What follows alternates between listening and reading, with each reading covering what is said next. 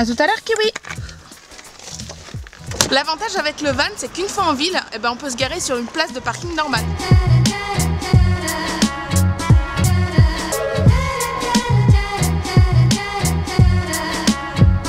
On vient de faire un petit tour dans la ville et là on va aller se boire un thé et un café.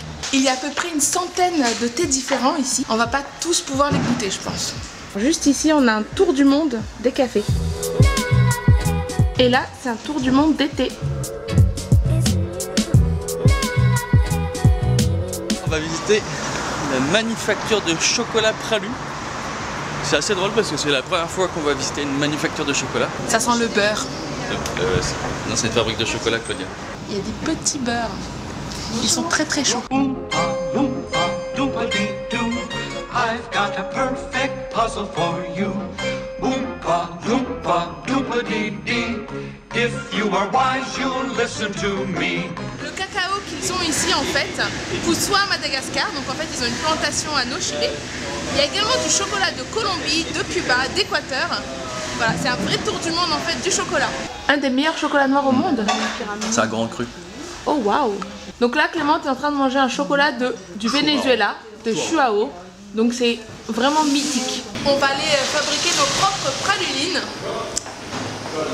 La recette est secrète donc elle ne sera pas dévoilée. What do you get when you guzzle down sweets? Eating as much as an elephant eats. What are you asking? Il faut de la pâte à brûler. What do you think will come? Come. Wow Oompa loompa doompa-dee-da. If you're not greedy, you will go far. You will live in happiness too. Like the Oompa loompa Et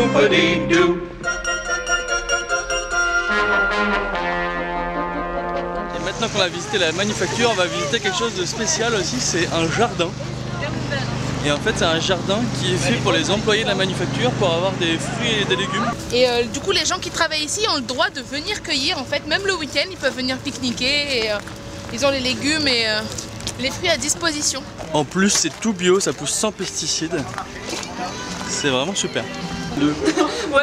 On finit la visite avec les petits beurres qu'on a vus à l'entrée. C'est- Il y a plein, y a plein de Ils sont recettes qu'on n'a pas bougé d'un iota. quoi.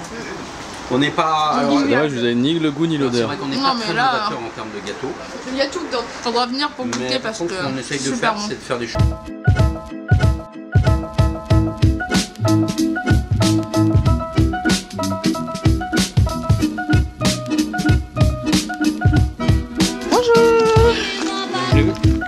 Après-midi, on est à Ambierle, c'est le petit village qui est ici. Et là, tout de suite, on est dans des, dans des vignes en fait, qui sont entièrement bio. Et donc, on va aller voir parce que c'est euh, un- une appellation qui est peu connue, les Côtes du Rouennais. Mais apparemment, ils font de l'excellent vin.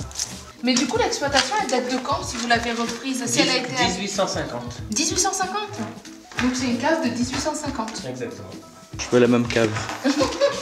Tu veux la même cave dans le van Ah, le vin, avant tout, c'est un- c'est le partage, c'est euh, la convivialité, c'est... euh, Et en fait, vous allez voir, c'est un rosé qui fait moins de 11 degrés, donc qui est bien dans la tendance des vins euh, légers. Dégustation de vin. Ah, il est bon.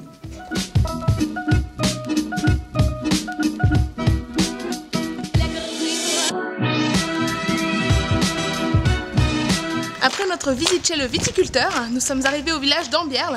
Donc en fait ici il y a un prieuré qui a été construit entre le 14e et 18e siècle. Un prieuré en fait c'est comme une abbaye, sauf que c'est beaucoup plus petit donc il y a moins de moines.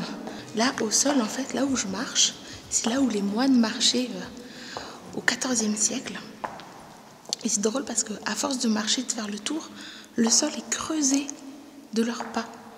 Donc euh, ça fait un creux comme ça en fait, là où ils marchaient. Et on peut marcher dans les pas où ils marchaient déjà à l'époque. Le prieuré d'Ambierle appartenait en fait à l'abbaye de Cluny. Et là, juste derrière moi, il y a le retable qui date de 1466. C'est un véritable trésor. C'est l'original juste derrière.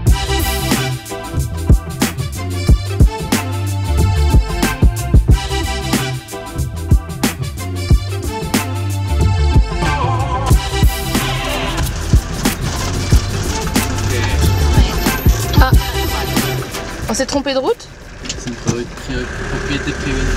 Ah. Si. Oh non, en plus euh, c'est chaud pour faire euh, demi-tour. Le tout petit chemin. La route est celle au-dessus là.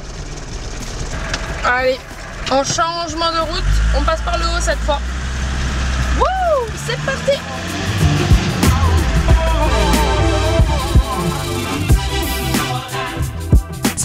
vient d'arriver euh, chez Père et Joris, du coup qui est un maraîcher qui est en agriculture raisonnée. Et là du coup on va aller visiter et faire un tour avec lui euh, dans ses serres et faire un petit tour en tracteur. T'as loupé le train Accroche-toi.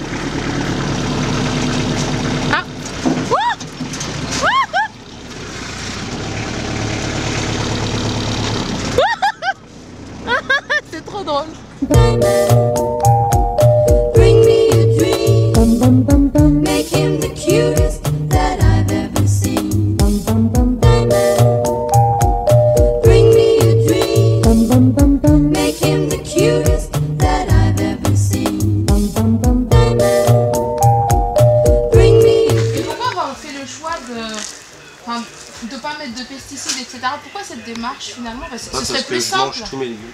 Ah oui voilà. C'est sûr que je suis pas niveau, je suis pas euh, productif. J'ai pas une grosse production du fait que bah, je j'utilise pas forcément des, produits, des produits euh, phyto pour, euh, pour traiter ou avoir du plus de rendement. Le légume, il, il en bave un peu plus chez moi, mais au final, il, il a du goût. Et en fait, c'est vraiment des légumes de qualité parce qu'ici, ils livrent 12 restaurants gastronomiques et semi-gastronomiques, dont 3 gros, Chanlon et Les Anges. On s'est réveillé avec la grisaille et on va s'endormir avec un beau coucher de soleil. D'ailleurs, là, on va à Le Crozet, qui est un petit village où ils ont euh, un espace réservé pour euh, les camping-cars. Donc, on va aller voir euh, si on trouve une place. Et on pourra se, se garer là-bas pour dormir. Et c'est le village qu'on va visiter demain matin. En plus, on a des bons légumes pour manger ce soir, avec un bon plat qu'on a acheté ce midi.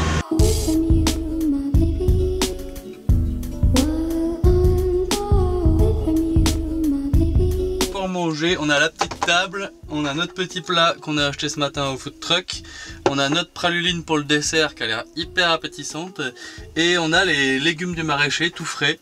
Kiwi me prend parfois pour un meuble le soir quand je suis debout comme ça, elle saute sur mes épaules pour mieux voir en fait avec un par-dessus les fenêtres du haut. C'est bon Kiwi, tu veux descendre un peu? Ça c'est la praluline, donc euh, ce qu'on a vu ce matin. C'est le Saint Graal d'ici, c'est une brioche avec énormément de praline, et on va la goûter tout de suite, Oh waouh. parce que ça a l'air trop appétissant. Oh, oh, oh, oh, oh. Ça fait cher, j'ai pris 50 kilos en plus.